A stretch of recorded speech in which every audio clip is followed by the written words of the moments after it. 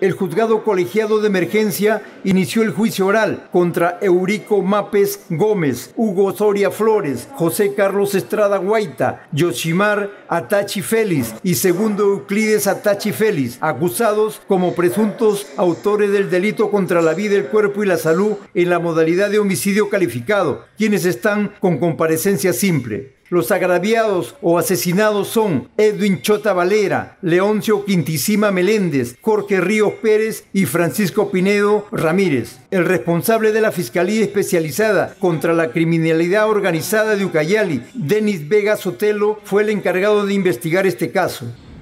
Por el Ministerio Público, Denis Michael fiscal provincial especializado contra la criminalidad organizada, con domicilio procesal en la avenida San Martín 644, tercer piso, con casilla electrónica 113415. El juzgado colegiado convocó a todos los testigos y a las partes dándole fecha de audiencia para su participación bajo apercibimiento de ser conducidos compulsivamente por la fuerza pública o prescindir de sus declaraciones en caso de inconcurrencia y si no asisten serán trasladados de grado fuerza y si no asisten, en algunos casos serán trasladados de grado o fuerza.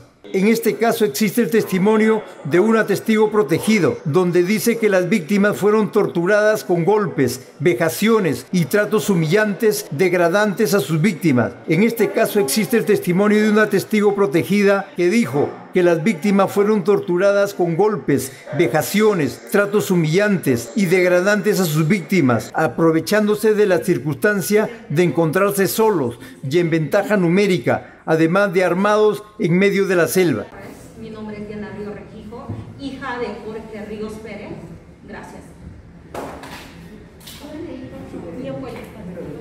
Eh, 4802 1542 la pena en el delito que se acusa no será menor de 15 años de pena privativa de la libertad. Hay que recordar que Edwin Chota Valera era el dirigente de la comunidad Sagüeto desde hace unos 15 años y era un activo opositor a la tala de madera de la comunidad. Esta actividad le ocasionó muchos enemigos a lo largo de su vida y fue amenazado constantemente de muerte hasta que se produjo el asesinato. Este juicio durará aproximadamente cinco meses, según lo anunciado en la audiencia. Existe mucha expectativa en el mundo porque se asesinaron a indígenas que luchaban por la conservación de los bosques vírgenes.